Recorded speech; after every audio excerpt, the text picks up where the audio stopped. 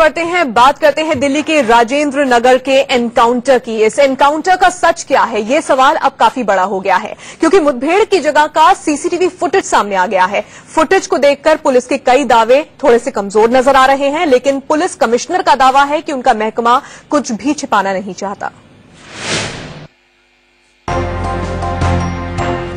ये तस्वीरें दिल्ली के सागर रत्ना रेस्टोरेंट के अंदर की हैं। रेस्टोरेंट के अंदर का सीसीटीवी फुटेज और एनकाउंटर का कच्चा चिट्ठा।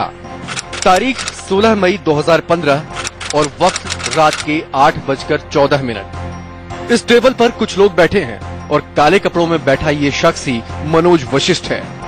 और इसी वक्त रेस्टोरेंट के गेट से कुछ लोग अंदर दाखिल होते हैं। ये लोग दिल्ली पुलिस के स्पेशल सेल के लोग हैं, जो सादे कपड़ों में आए हैं। स्पेशल सेल के करीब चार पाँच लोग उसी टेबल की ओर बढ़ते हैं जिस पर मनोज कुछ लोगों के साथ बैठा है। एक पुलिस वाला मनोज के नज़दीक पहुँचता है और बाकी आसपास खड़े हो जाते हैं। मनोज से इस पुलिस वाले ने जैसे ही कुछ कहा, वो अपनी जगह से उठकर भागने लगता है, लेकिन सारे पुलिस वाले उस पर टूट पड़ते हैं। चारों तरफ़ अफरा तफरी मच जाती है। भागने के चक्कर में मनोज नीचे गिर जाता है और उसके साथ एक पुलिस वाला भी नीचे गिर जाता है। चंद सेकंड में पुलिस वाला उठकर खड़ा होता है। इसके बाद के वीडियो में साफ़ नहीं है कि आगे क्या हुआ।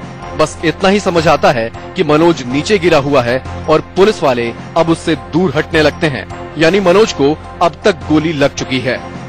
29 सेकंड के इस वीडियो से कई सवालों के जवाब नहीं मिलते। मसलन, गोली कब चली और किसने चलाई? मनोज ने गोली चलाई या नहीं? उसके पास पिस्टल थी भी या नहीं? उधर पुलिस कमिश्नर कह रहे हैं कि मामले में पुलिस के पास छिपाने को कुछ नहीं। तो मनोज के परिजन पुलिस पर फर्जी एनकाउंटर के आरोप दोहरा रहे हैं। मेरे ख्याल में कोई सवालों के घेरे में नहीं है। तो मैं सिर्फ़ ये आपको बताना चाहूँगा, एक बार जैसे ही इन्वेस्टिगेशन कंप्लीट हो जाएगी, आपके सामने जो है सारी पिक्चर जो है क्लियर हो जाएगी।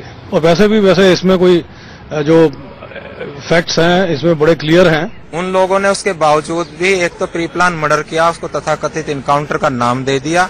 उसके बाद वो पुलिस उन एविडेंस को तो डिस्ट्रॉय करने की कोशिश कर रही है और नया कुछ क्रिएट करने की कोशिश कर रही है।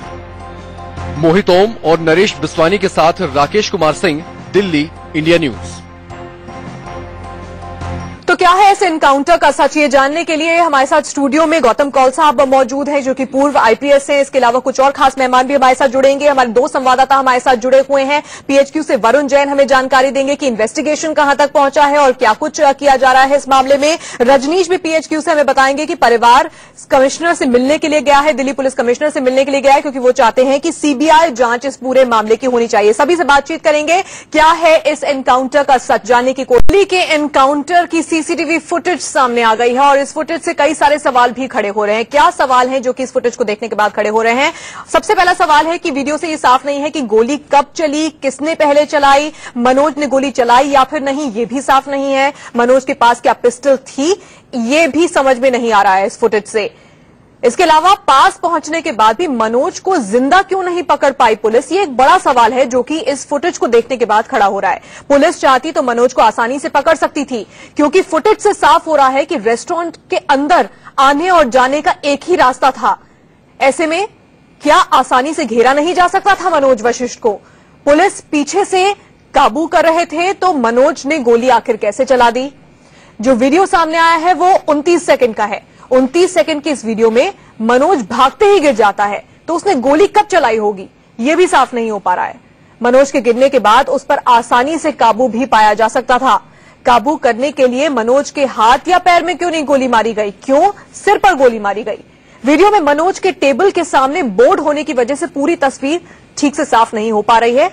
रेस्टोरेंट में क्या कोई और सीसीटीवी कैमरा नहीं लगा था जिसकी फुटेज ज़्यादा साफ़ हो और जिससे और ज़्यादा चीज़ें निकलकर सामने आ सकती है। ये बहुत सारे सवाल है जो कि इस सीसीटीवी फुटेज से खड़े हो रहे हैं। हमारे दो संवाददाता इस वक्त हमारे साथ बने हुए हैं। साथ ही गौतम कौल साहब हमारे साथ स्टूडियो में जुड़े हुए हैं। ऐश्वर्या भाटी, जो कि एक एडवोकेट हैं, वो भी हमारे साथ जुड़ी हुई हैं। सबसे पहले वरुण के पास चलते हैं। वरुण सीसीटीवी फुटेज को अगर अच्छे से देखा जाए तो जो हम सवाल अभी बता रहे थे, वो सवाल बहुत ज़्यादा खड़े हो रहे हैं। क्या कोई और सीसीटीवी कैमरा नहीं लगा था, जिससे फुटेज में, बीच में कोई ऐसा चीज़ ना आए हमने देखा कि एक बड़ा सा वहाँ पे एक चीज़ लगी हुई है, इसकी वजह से ठीक से, बोर्ड की वजह से ठीक से दिख नहीं रहा है क्या हो हो रहा था। बहुत सारी चीज़ें साफ़ नहीं हो रही हैं सीसीटीवी फुटेज से।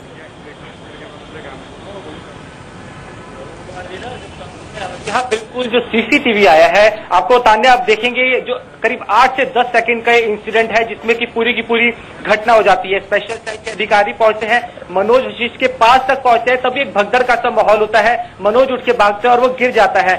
पुलिस शुरुआत से ये बात कह रही थी कि उनके पास सीसीटीवी फुटेज है। वो इस बात को आसानी से प्रूव कर देंगे कि पहली फायर मनोज ने किया था। उसके बाद ही एनकाउंटर में पुलिस की तरफ़ से गोली चली है, क्योंकि लगातार पुलिस सवालों के घेरे में थी। जिसके बाद पुलिस के ज़रिए ये सीसीटीवी फुटेज सामने आया, लेकिन ये सीसीटीवी फुटेज बिल्कुल भी साफ़ नहीं है। इतना ज़रूर नज़र आ रहा है कि पुलिसकर्मी मनोज तक पहुँचे हैं। मनोज अचानक से भागता है और वो गिर जाता है लेकिन गोली किसने चलाई? मनोज ने पहली गोली चलाई या पुलिस ने चलाई? क्या मनोज के पास पिस्टल है भी या नहीं।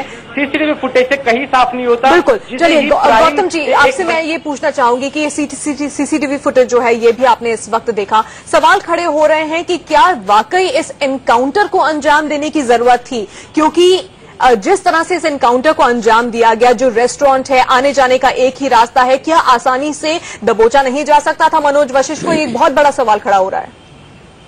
आपका कहना बिल्कुल सही है। आ, ये इस समय जो है अभी 48 घंटे ही हुए हैं इस वाकयात को और पुलिस ही बता सकती है कि वहाँ मौके पे जो है पहले जो पाँच मिनट हैं उसके अंदर क्या क्या हुआ। पर जो फुटेज आपने अभी दिखाया है, इसमें ये बात सामने आ नहीं रही है। फिर भी ये जब फुटेज जो है, जब फ्रेम बरा फ्रेम जो है, जब इसका एग्जामिनेशन होगा तो कुछ तो सामने बात आ जाएँगी। इसके अलावा पिस्टल थी कि नहीं थी, ये तो पुलिस के जवाब अभी भी दे सकती है, क्योंकि जब मौके पे जो लिया गया है वहाँ पे एग्जामिनेशन किया है और उसकी जमा तलाशी ली गई होगी मरने वाले की तो वो पिस्टल जो है अगर थी तो वो सामने आ जाएगी। ये तो पता है कि ये पिस्टल जो है ये आ, मनोज ने आ, अपने ज़िले बागपत से जो था 2003 में अ, इसका लाइसेंस लिया था और ये वेपन उसके साथ तब से रहा है। तो पिस्टल तो है और मेरे ख्याल से पुलिस जानती थी कि इसके पास पिस्टल रहेगी और अ, इसलिए ये आम होके आए पर ये पाँच पुलिस वाले जो वहाँ थे और उसके बावजूद इन्होंने जो हरकत की है वो पहला शक तो ये दिखा देती है कि पुलिस ने जो कार्रवाई की वो शायद कुछ ज़्यादा ही मुस्तैदी कर दी। पर अब ये भी देखना है कि जो इन्वेस्टिगेशन अब क्योंकि स्पेशल स्टाफ को दे दी गई है और उनमें जो जो नियुक्त किए गए हैं लोग वो अच्छे माने जाते हैं इन्वेस्टिगेटर लेकिन फिर भी तो, परिवार इस बात से संतुष्ट नहीं है। वो नहीं वो चाहते हैं कि सीबीआई जाँच करे ऐसा नहीं सीबीआई भी कैसे ही है। सीबीआई भी तो वही पुलिस वाले ही हैं। चाहे वो दिल्ली पुलिस से डेपुटेशन पे चले जाएँ चाहे वो पंजाब पुलिस से आ जाएँ कहीं मद्रास पुलिस से आ जाएँ फिर भी पुलिस वाले ही तहकीकात करेंगे। मैं ऐश्वर्या के पास भी आऊँगी उनसे भी जानूँगी कि अब जाँच किस तरह से होगी क्योंकि सीसीटीवी फुटेज बहुत कुछ साफ़ नहीं कर रही है परिवार वाले भी संतुष्ट नहीं है एसआईटी जाँच का जो ऐलान किया गया है उससे इसके अलावा रजनीश के पास भी आऊँगी। एक छोटा है दिल्ली एनकाउंटर का सच ये हम जानने की कोशिश कर रहे हैं। इस वक्त हमारे संवाददाता रजनीश भी पीएचक्यू से हमारे साथ जुड़े हुए हैं। रजनीश, परिवार तो पहले दिन से पहले घंटे से ये बात कह रहा है कि ये जो पूरा एनकाउंटर है, इस पर वो सवाल खड़े कर रहे हैं, वो चाहते हैं अच्छे से जाँच हो। आज दिल्ली पुलिस कमिश्नर से भी वो मिलने वाले हैं। बिल्कुल तानिया अब से कुछ देर पहले मनोज के घर वाले पीएचक्यू पहुँचे हैं। करीब सवा नौ बजे के आसपास मनोज के घर वाले पीएचक्यू पहुँचे हैं और अब से कुछ देर पहले 15 से 20 मिनट पहले जो सीपी दिल्ली है बीएस बसी वो भी पीएचक्यू पहुँच गए हैं। इस समय मनोज के परिजन और सीपी दिल्ली के बीच ऊपर जो है उनके ऑफ़िस में बातचीत चल रही है। मनोज के परिजन अपनी मांगे सीपी के सामने रख रहे हैं कि जो लोग एनकाउंटर में शामिल थे उनके खिलाफ भी मामला दर्ज किया जाए। फ़िलहाल अभी तक जो बातचीत चल रही है जब मनोज के परिजन नीचे आएँगे उसके बाद वो हमसे बात करेंगे तब पता चलेगा धन्यवाद जुड़ने के लिए वरुण आपका भी शुक्रिया गौतम कौल साहब आपका भी शुक्रिया हमारे साथ जुड़ने के लिए। क्या सच है इस एनकाउंटर का? ये जाँच के बाद ही सामने आएगा लेकिन जो सीसीटीवी फुटेज सामने आए हैं उससे बहुत कुछ साफ़ नहीं हो पा रहा है और इसीलिए सवाल अब और भी ज़्यादा खड़े होने लगे हैं। छोटे से ब्रेक